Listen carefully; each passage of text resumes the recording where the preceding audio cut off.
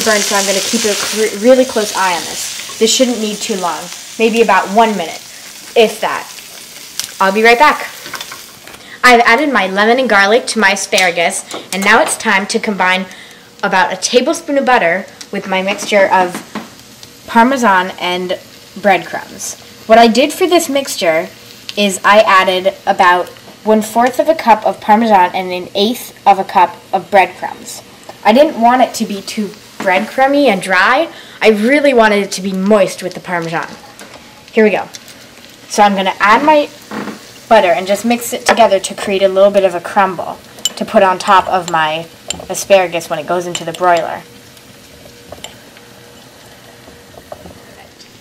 Now I'm going to add my crumble.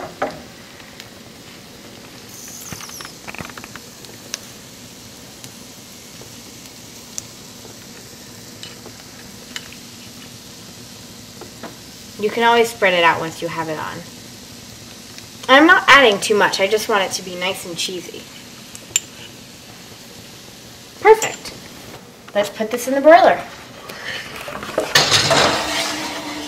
I'm going to leave it in there for about two to three minutes to get nice and crispy.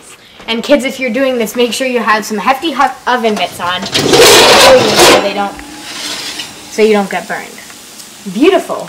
The breadcrumbs are nice and crispy and the asparagus looks nice and roasted.